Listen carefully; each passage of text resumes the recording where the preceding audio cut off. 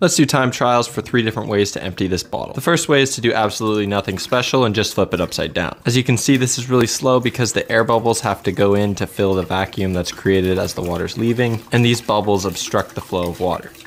By the time the bottle was completely empty in this method, it was around 15 and a half seconds. The second strategy is to swing the bottle around to create a vortex. As you can see, this creates a channel of air that helps relieve the pressure and improve the time. This method was almost twice as fast as the first one at around 8 and a half seconds. Lastly, the pro strategy, which is to use a straw, unblock the hole right as you release it. The straw provides a passageway to relieve the pressure and it results in the fastest time at around 4 and a half seconds.